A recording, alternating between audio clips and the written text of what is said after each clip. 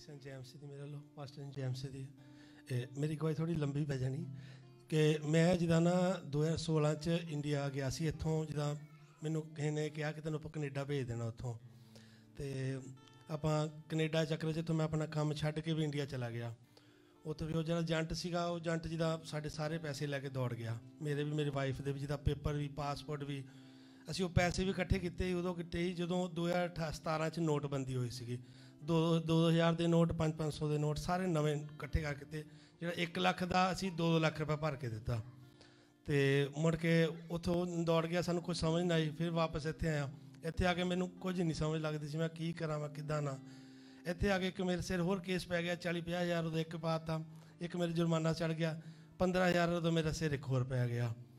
ਤੇ ਮੈਂ ਹਮੇਸ਼ਾ ਹੀ ਸੋਚਦਾ ਮੈਂ ਕਿਹਾ ਜਿਵੇਂ ਤਨਖਾਹ, ਮੈਂ ਮੈਂ ਕਿਹਾ ਤੇ ਕੰਮ ਵੀ ਕਰ ਲਵਾਂਗਾ ਜੇ 2000 ਰੁਪਏ ਨੂੰ 3000 ਨੂੰ ਵੀ ਕੰਮ ਮਿਲ ਜੂਗਾ, ਤਾਂ ਵੀ ਮੇਰੇ ਤੋਂ ਘੱਟ ਘੱਟ ਵੀ 20 ਸਾਲ ਲੱਗ ਜਾਣੇ ਮੇਰੇ ਤੋਂ ਮੇਰੇ ਤੋਂ ਕਰ ਜਾਣੀ ਮੇਰਾ ਲੱਥਣਾ।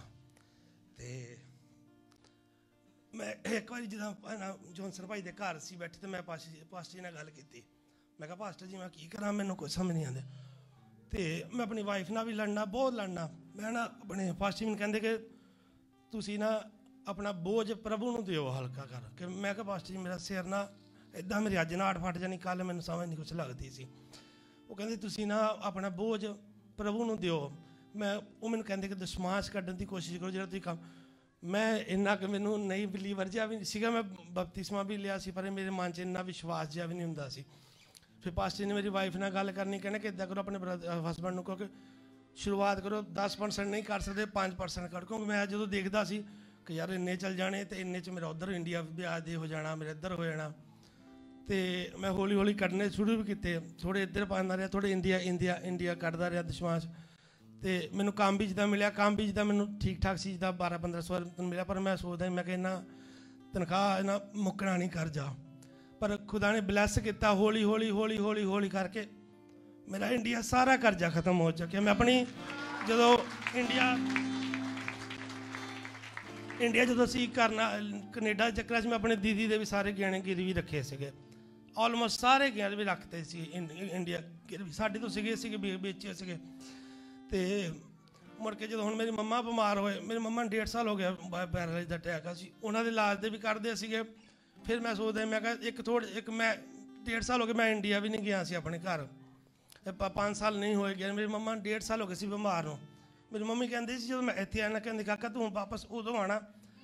ਜਦੋਂ ਤੂੰ ਪੂਰੇ ਤਰ੍ਹਾਂ ਕਰਜ਼ਾ ਤੋਂ ਮੁਕਤ ਹੋਇਆ ਹੋਗਾ ਤੇ ਮੈਂ ਸਾਲ, ਡੇਢ, ਮੇਰੀ ਮੰਮੀ ਨੂੰ ਡੇਢ ਸਾਲ ਹੋ ਗਏ ਬਿਮਾਰ ਨੂੰ ਮੈਂ ਨਹੀਂ ਜਾ ਸਕਿਆ। ਤੇ ਮੈਂ ਹਮੇਸ਼ਾ ਪੈਸੇ ਇਕੱਠੇ ਕਰਦੇ, ਸਾਰੇ ਕਰਜ਼ੇ ਲੱਤ ਗਏ। ਕਿ ਮੇਰੇ ਦੀਦੀ ਦੇ ਗਹਿਣੇ ਸੀਗੇ ਕੋਈ ਤੋਂ 3 3.5 ਕੁ ਲੱਖ ਦੇ। ਉਹ ਕਿੰਨੀ ਵਾਰੀ ਪੈਸੇ ਇਕੱਠੇ ਕੀਤੇ, ਕਿੰਨੀ ਵਾਰੀ ਖਰਚ ਹੋ ਗਏ। ਫਿਰ ਆਪਾਂ ਜਿੱਦਾਂ ਜੁਲਾਈ ਚ ਥੋੜੇ ਜਿਹਾ ਮੈਂ ਇਧਰੋਂ ਪੈਸੇ ਲਏ, ਆਪਣੇ ਗਹਿਣੇ ਛੜਾਣੇ ਦੇ ਦਿੱਤੇ ਜਿੱਦਾਂ। ਫੋਨ ਮੈਂ ਪਾਪਾ ਜੀ ਨੂੰ ਮੈਂ ਕਿਹਾ, ਪਾਪਾ ਜੀ, ਤੁਸੀਂ ਉਹ ਗਹਿਣੇ ਛੜਾ ਪਾਪਾ ਕਹਿੰਦੇ, ਰਹਿਣ ਦਿਓ, ਕੋਈ ਗੱਲ ਨਹੀਂ, ਜਦੋਂ ਮਰਜ਼ੀ ਛੜਾ ਲਾਂਗੇ, ਹੁਣ ਤਾਂ ਪੈਸੇ ਆਪਣੀ ਜੇਬ 'ਚ ਹੀ ਰਹਿੰਦੇ ਆ, ਕੋਈ ਇਦਾਂ ਨਹੀਂ ਵੱਡਾ ਮਸਲਾ। ਸਾਡੇ ਘਰ ਇੱਕ ਇਦਾਂ ਦੀ ਸਿਚੁਏਸ਼ਨ ਆ ਗਈ ਸੀਗੀ ਕਿ ਮੇਰੇ ਨਾ ਪਾਪਾ ਜੀ ਤੋਂ ਨਾ ਇੱਕ ਵਾਰੀ ਮੋਟਰਸਾਈਕਲ ਤੇ ਨਾ ਤੇਲ ਪਾਉਣ ਨੂੰ ਪੈਸੇ ਨਹੀਂ ਸੀਗੇ। ਤੇ ਉਹਨਾਂ ਨੇ ਨਾ ਮੇਰੇ ਇੱਕ ਦੋਸਤ ਤੋਂ 50 ਰੁਪਏ ਧਾਰੇ ਲਏ। ਤੇ ਹੁਣ ਸਾਡੇ ਮੇਰੇ ਪਾਪਾ ਜੀ ਤੋਂ ਇੰਨੇ ਕੁ ਪੈਸੇ ਹੁੰਦੇ, ਉਸ ਬੰਦੇ ਨੇ ਲੋੜ ਪਈ ਮੇਰੇ ਪਾਪਾ ਜੀ ਨੇ ਉਹਨੂੰ 20000 ਰੁਪਏ ਦਿੱਤਾ 20000 ਰੁਪਏ ਧਾਰਾ ਦਿੱਤਾ ਉਹਨੂੰ ਆ ਪਿਛਲੇ ਸਾਲ। ਇੱਕ ਵਾਰੀ ਮੇਰੀ ਹੈ ਮੈਂ ਜਦੋਂ ਇਸ ਕੰਮ 'ਚ ਲੱਗਾ ਸੀ, ਮੈਂ ਇੱਥੇ ਗਿਆ ਸੀਗਾ, ਫਿਰ ਮੈਂ ਪਹਿਲਾਂ ਇੱਥੇ ਕੰਮ ਕੀਤਾ 4 ਮਹੀਨੇ, ਫਿਰ ਮੈਂ ਫਰਾਰੇ ਕੀਤਾ ਕੰਮ। ਮੈਂ ਜਦੋਂ ਫਰਾਰੇ ਗਿਆ ਸੀ ਤੇ ਮੇਰੇ ਤੋਂ ਨਾ ਇੱਕ ਸਾਈਕਲ ਸੀਗਾ ਆਪਣਾ, ਤੇ ਇੱਕ ਮੈਂ ਆਪਣਾ ਬੈਗ ਲੈ ਗਿਆ ਸੀ ਕੱਪੜਿਆਂ ਦਾ। ਤੇ ਮੈਂ ਕੱਪੜਿਆਂ ਦਾ ਬੈਗ ਸੀ ਤੇ ਮੈਂ ਜਿਹਦਾ ਨਾ 15ਵੇਂ ਨੰਬਰ ਤੇ ਸੀਗਾ, ਸਾਢੇ 14 ਬੰਦੇ 15 ਮੈਂ ਅਖੀਰ ਸੀ, ਮੈਨੂੰ ਬੋਲੀ ਵੀ ਨਹੀਂ ਆਉਂਦੀ ਸੀ, ਮੈਨੂੰ ਕੁਝ ਨਹੀਂ ਆਉਂਦਾ, ਬਿਲਕੁਲ ਨਹੀਂ ਸੀਗਾ। ਪਰ ਖੁਦਾ ਨੇ ਮੈਨੂੰ ਬਲੈਸ ਕੀਤਾ, ਉੱਥੇ ਘਰ ਵੀ ਜਿਹਦਾ ਮਾਲਕ ਨੇ ਆਪਣਾ, ਇੱਕ ਬੰਦੇ ਰਿਟਾਇਰ ਹੋ ਕੇ ਜਾਣਾ ਸੀ ਤੇ ਘਰ ਦੇਣਾ ਸੀ ਕਿਸੇ ਨੂੰ। ਤੇ ਮੈਂ ਅਖੀਰਲੇ ਨੰਬਰ ਸੀ ਮੈਨੂੰ ਬੋਲੀ ਵੀ ਨਹੀਂ, ਬਿਲਕੁਲ ਨਹੀਂ ਬੋਲੀ ਆਉਂਦੀ ਸੀਗੀ। ਤੇ ਬੋਲੀ ਵੀ ਨਹੀਂ ਆਉਂਦੀ ਸੀ ਤੇ ਮੈਂ ਮਿਹਨਤ, ਮੈਂ ਰੱਜ ਕੇ ਮਿਹਨਤ ਕਰਦਾ ਸੀ।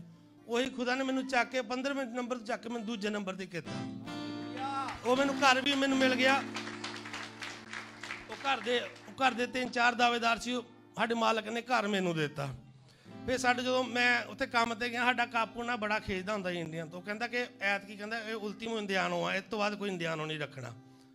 ਤੇ ਉਸ ਤੋਂ ਬਾਅਦ 6 ਮਹੀਨੇ ਪਹਿਲਾਂ ਮਾਲਕ ਆਇਆ ਤੇ ਸਾਡੇ ਅਹ, ਉੱਥੇ ਆਇਆ ਫਾਰਮ 'ਚ। ਆਇਆ ਮਾਲਕ ਸਾਡਾ ਬਹੁਤ ਅਮੀਰ ਆ ਉਹਦੇ 6-7 ਫਾਰਮ ਆ। ਮਾਲਕ ਸਾਡਾ ਕਾਪੋ ਵੀ ਬੈਠਾ ਇੱਥੇ ਵੀ ਬੈਠਾ ਮੈਨੂੰ ਕਹਿੰਦਾ ਕਿ ਨਾ ਐਤਕੀ ਹੁਣ ਅੱਗੇ ਤੋਂ ਕੋਈ ਵੀ ਸਤਾਲੇ 'ਚ ਬੰਦਾ ਰੱਖਣਾ ਤੂੰ ਰੱਖਣਾ ਹੈ। ਇੰਡੀਅਨ ਰੱਖਣਾ ਹੋਰ ਕੋਈ ਨਹੀਂ ਰੱਖਣਾ। ਤੇ ਸਾਡਾ ਫਿਰ ਜਿੱਦਾਂ ਇੰਨੀ ਬੋਲੀ ਵੀ ਨਹੀਂ ਮੈਨੂੰ ਆਉਂਦੀ ਸੀਗੀ। ਸਾਡਾ ਜਿੱਦਾਂ ਮਾਲਕ ਨੇ ਮੈਨੂੰ ਸੈਬ ਬੁਲਾ ਕੇ ਸਾਈਡ ਤੇ ਮੈਨੂੰ ਕਹਿੰਦਾ ਇਦਾਂ ਕਰੀ ਕੋਈ ਨਾ ਸਾਡਾ ਹੁਣ ਕਾਪੋ ਨੇ ਰਿਟਾਇਰ ਹੋਣਾ। ਕਾਪੋ ਨੇ ਰਿਟਾਇਰ ਹੋਣਾ ਤੇ ਮੈਨੂੰ ਨਾ ਕਹਿੰਦਾ ਕਿ ਇਦਾਂ ਕਰ ਕੋਈ ਨਾ ਬੰਦਾ ਲੱਭ ਇੰਡੀਆ ਨਾ ਕਿ ਉੱਥੇ ਕਾਪੋ ਰਖਾਣਾ ਆਪਣਾ। ਮੈਂ ਕਿਹਾ ਜੀ, ਮੈਂ ਦੇਖਦਾ, ਮੈਂ ਲੱਭਾਂਗਾ, ਕੋਸ਼ਿਸ਼ ਕਰਾਂਗਾ। ਕਹਿੰਦਾ, ਤੂੰ ਆਰਐਲਐਸ ਦਾ ਕੋਰਸ ਕਰ ਲੈ, ਤੈਨੂੰ ਬਣਾ ਦਿੰਨੇ ਕਾਪੋ ਇੱਥੇ। ਤੇ ਮੈਂ ਮਾਲਕ ਦੇ ਮੂੰਹ ਵੱਲ ਦੇਖਾਂ ਮੈਂ ਕਿਹਾ, ਯਾਰ ਮੈਂ ਤੇ ਇਹਨੇ ਜੋ ਕਸੇ ਨਹੀਂ ਜਿੰਨਾ ਮੈਨੂੰ ਪ੍ਰਭੂ ਨੇ ਕੀਤਾ? ਮੇਰੀ ਤਨਖਾਹ ਵੀ ਸਾਰਿਆਂ ਨੂੰ ਜ਼ਿਆਦਾ ਹੈ ਉੱਥੇ। ਮੈਨੂੰ ਘਰ ਵੀ ਉੱਥੇ ਵੀ ਮਿਲਦਾ। ਮੈਂ ਨਾ ਜਿੱਦਾਂ ਉੱਥੇ ਵੀ ਮੇਰੇ ਸਾਰਿਆਂ ਨੂੰ ਪਤਾ ਕਿ ਮੇਰਾ 35 40 40 50 ਹਜ਼ਾਰ ਉਦੋਂ ਮੇਰਾ ਸਿਰ ਇੱਥੇ ਹੈਗੇ ਆ ਮੇਰੇ ਸਿਰ ਚ 50 ਹਜ਼ਾਰ ਹੈਗੇ ਆ ਮੇਰੇ ਸਿਰ। ਪਰ ਮੈਂ ਫਿਰ ਵੀ ਆਨੰਦ ਰਹਿਣਾ, ਗਾਣੇ ਗਾਉਂਦਾ ਰਹਿਣਾ ਮੇਰੇ ਟਾਲੀ ਨੂੰ ਕਈ ਕਹਿੰਦੇ ਹੁੰਦੇ। ਕਹਿੰਦੇ ਯਾਰ ਤੂੰ ਚੰਗਾ ਆਇਆ ਬੰਦਾ ਤੇਰਾ ਮੂੰਹ ਸਾਰੀ ਦਿਨ ਖੁਸ਼ ਹੀ ਰਹਿੰਦਾ ਹੈ। ਜਾਂ ਕਹਿੰਦਾ ਸਾਡੇ ਸਿਰੇ ਨੇ ਕਰ ਜਾਈ ਤਾਂ ਕੱਦ ਜ਼ਹਿਰ ਖਾ ਕੇ ਮਾਰ ਜੀ ਮੈਂ ਕਿਹਾ ਮੈਂ ਹਮੇਸ਼ਾ ਟੈਸਟਮਨੀ ਆਉਂਦਾ ਮੈਂ ਕਿਹਾ ਮੇਰਾ ਮੇਰੇ ਪ੍ਰਭੂ ਤੇ ਮੈਨੂੰ ਯਕੀਨ ਆ। ਤੇ ਉਹ ਮੈਨੂੰ ਹਮੇਸ਼ਾ ਕਹਿੰਦੇ ਰਹਿੰਦੇ ਕਿ ਜਿੱਦਾਂ ਮੈਂ ਕਹਿੰਦਾ ਨਾ ਯਾਰ ਮੈਂ ਕਿਹਾ ਮੇਰੀ ਤਨਖਾਹ ਮੈਂ ਨਹੀਂ ਡਿਸਾਈਡ ਕਰਦਾ ਨਾ ਮੇਰਾ ਮਾਲਕ ਡਿਸਾਈਡ ਕਰਦਾ। ਮੇਰਾ ਡਿਸਾਈਡ ਮੇਰੀ ਤਨਖਾਹ ਹਮੇਸ਼ਾ ਮੇਰੀ ਡਿਸਾਈਡ ਮੇਰਾ ਪ੍ਰਭੂ ਕਰਦਾ ਕਿ ਮੈਂ ਜਦੋਂ ਕਹਿੰਦਾ ਪ੍ਰਭੂ ਜੀ ਐਤਕੀ ਮੈਨੂੰ ਨਾ ਇੰਨੇ ਕੇ ਚਾਹੀਦੇ ਆ। ਤੇ ਮੈਨੂੰ ਉਹ ਤੋਂ ਵੱਧ ਹੀ ਮਿਲਦੇ ਆ।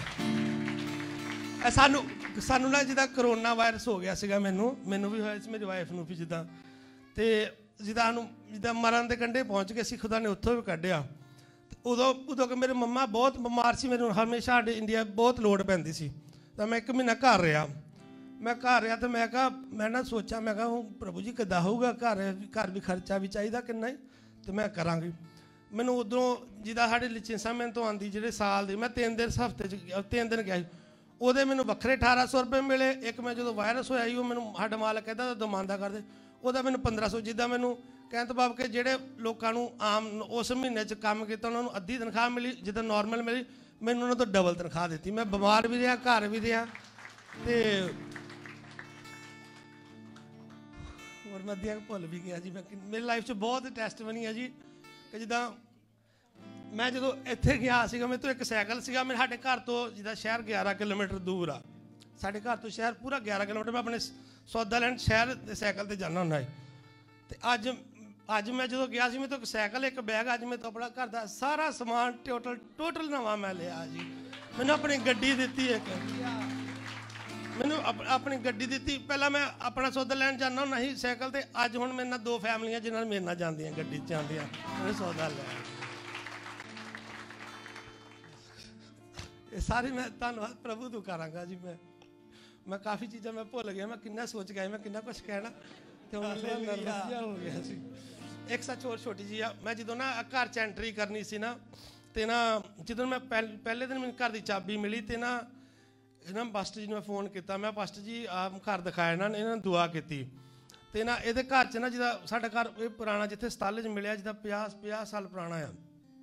ਬਾਲਕ ਕਹਿੰਦਾ ਕਿ ਮੈਂ ਤੇਰੇ 10 15000 ਐਰੋ ਲਾ ਕੇ ਕੁਸਤਰੀ ਜੇ ਕਰਕੇ ਤੇ ਤੈਨੂੰ ਐਂਟਰੀ ਕਰਾ ਦੂੰਗਾ। ਤੇ ਮੈਂ ਮਾਲਕ ਨੂੰ ਫੋਨ ਕੀਤਾ ਕਿ ਮੈਂ ਕਿਹਾ ਲੋਜੋ ਬਣਵਾਣੀ ਸੀਗੀ, ਮੈਂ ਨਾ ਘਰ ਦੀ ਲੋਜੋ ਸੀਗੀ। ਤੇ ਲੋਜੋ ਵਾਸਤੇ ਜਿਹਦਾ ਸਾਰੇ ਕਲਦਾਈ ਦਾ ਸਾਰੇ ਸਰਟੀਫਿਕੇਟ ਚਾਹੀਦਾ ਸੀ, ਉਹ ਤੇ ਘੱਟੋ ਘੱਟ ਵੀ ਮਾਲ ਦਾ ਲੱਗਣਾ 60 70 ਹਜ਼ਾਰ ਐਰੋ ਜਦੋਂ ਮੈਂ ਐਂਟਰੀ ਕੀਤੀ, ਤਾਂ ਮੈਂ ਪਾਸਟਰ ਨੂੰ ਫੋਨ ਕੀਤਾ, ਮੈਂ ਪਾਸਟਰ ਜੀ ਇਦਾਂ ਦੁਆ ਕਰਿਓ ਕਿ ਮੇਰੇ ਸਾਰੇ ਪੇਪਰ ਵੀ ਇੱਥੋਂ ਬਣ, ਸਾਰੇ ਪਾਸਟਰ ਨੂੰ ਦੁਆ ਕੀਤੀ। ਫਿਰ ਨਾ ਉਹ ਤੋਂ ਪਹਿਲਾਂ ਮੈਂ ਨਾਲ ਦੇ ਨੂੰ ਆਪਣੇ ਨੂੰ ਕਾਪਾਂ ਨੂੰ ਕਿਹਾ, ਮੈਂ ਕਿਹਾ ਮੈਂ ਨਾ ਲੋਜੋ ਬਣਾਣੀ ਆ। ਲੋਜੋ ਵਾਸਤੇ ਜਿਹਦਾ ਸਰਟੀਫਿਕੇਟ ਇਲੈਕਟ੍ਰੀਸ਼ੀਅਨ ਦਾ ਸਰਟੀਫਿਕੇਟ ਸਾਰੇ ਕਿੰਨੇ ਪੰਜ ਛੇ ਸਰਟੀਫਿਕੇਟ ਚਾਹੀਦੇ ਸੀਗੇ।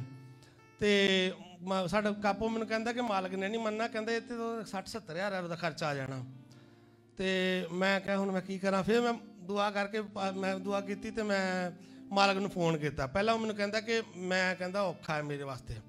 ਫਿਰ ਉਸ ਤੋਂ ਬਾਅਦ ਦੂਜੀ ਵਾਰ ਦੂਜੀ ਵਾਰ ਕਿਹੜੇ ਮਾਲਕ ਆਇਆ ਕੋ ਮਾਲਕ ਸਾਡਾ 6-7 ਮਹੀਨੇ ਬਾਅਦ ਆਂਦਾ ਉਹ ਸਾਰਾ ਜਦੋਂ ਆਇਆ, ਉਹ ਸਾਰਾ ਫਾ- ਬਣਾ ਕੇ ਆਰਕੀਟੈਕਟ ਨੂੰ ਨਾਲ ਲਿਆ ਕੇ, ਸਾਰਾ ਲਿਆ ਕੇ ਟੋਟਲੀ ਉਹ ਨਵਾਂ ਬਣਾ ਕੇ ਦੇਣ ਡਿਆ ਘਰ ਵਿੱਚ। ਮੈਨੂੰ ਕਹਿੰਦਾ, ਤੂੰ ਥੋੜਾ ਸਬਰ ਕਰ ਲੈ, ਤੈਨੂੰ 3-4 ਮਹੀਨੇ ਵੇਟ ਕਰਨੀ ਪੈਣੀ ਆ, ਪਰ ਤੈਨੂੰ ਟੋਟਲੀ ਨਵਾਂ, ਤੈਨੂੰ ਲੋਜੋ ਲੋਜੋ, ਜਿਹੜੇ ਤੂੰ ਪੇਪਰ ਕੇ ਤੈਨੂੰ ਸਾਰਾ ਕੁਝ ਨਵਾਂ ਹੀ ਬਣਾ ਕੇ ਦਊਂਗਾ। ਜਿੱਦਾਂ ਹੁਣ ਪਹਿਲਾਂ 10 12000 ਕਹਿੰਦੇ ਸੀਗੇ ਕਿ ਯਾਨੀ ਬਾਲਕ ਕਹਿੰਦੇ ਕਿ? ਨਗਾ ਹੁਣ ਉੱਤੇ 1 ਲੱਖ ਐਰੋ ਲੱਗਣਾ। ਤੇ ਮਾਲਕ ਨੇ ਇੱਕ ਵਾਰ ਵੀ ਨਾ ਨੁਕਰ ਨਹੀਂ ਕੀਤੀ, ਉਹਨੇ ਕਹਿੰਦਾ ਮੈਂ ਠੀਕ ਕਰਾ ਦਿੰਦਾ। ਪੂਰਾ 1 ਲੱਖ ਐਰੋ ਲੱਗਣਾ। ਕਿਉਂਕਿ ਉਹਦੀ ਸੋਨੀਏ ਸੋ, ਸਾਰੀਆਂ ਥੱਲੋਂ ਐਵਰੀਥਿੰਗ ਸੀਗੀ। ਮੈਂ ਕਹਿੰਦਾ ਕਿ ਮੈਨੂੰ ਇੱਕ ਕਰਨਾ, ਉਹ ਮਾਲਕ ਨੇ ਦੋ, ਇੱਕ ਕਮਰਾ ਹੋਰ ਵਧਾ ਕੇ ਦੇ ਦਿੱਤਾ। ਕਹਿੰਦਾ ਕਿ ਤੈਨੂੰ ਆਹ ਕਮਰਾ ਨਹੀਂ, ਇੱਕ ਲਾਂਡਰੀ ਰੂਮ ਵੱਖਰਾ ਬਣਾ ਕੇ ਦੇਣਾ, ਸਾਰਾ ਕੁਝ ਵੱਖਰਾ ਬਣਾ ਕੇ ਦੇਣਾ। ਤੇ ਮੇਰੇ ਨਾਲ ਦੇ ਸਾਰੇ ਬੜੇ ਹੈਰਾਨ, ਕਹਿੰਦੇ ਤੂੰ ਬਾਅਦ 'ਚੋਂ ਆ ਕੇ ਸਾਡੇ ਤੋਂ ਪਹਿਲਾਂ ਤਰੱਕੀਆਂ ਕਰ ਗਿਆ। ਮੈਂ ਕਿਹਾ ਤੁਸੀਂ ਮੰਨਦੇ ਨਹੀਂ, ਪਰ ਮੇਰੇ ਪ੍ਰਭੂ ਮੇਰੇ ਨਾਲ ਮੇਰੇ ਤਰੱਕੀਆਂ ਕਰਨ ਵਾਸਤੇ ਆ ਜੀ।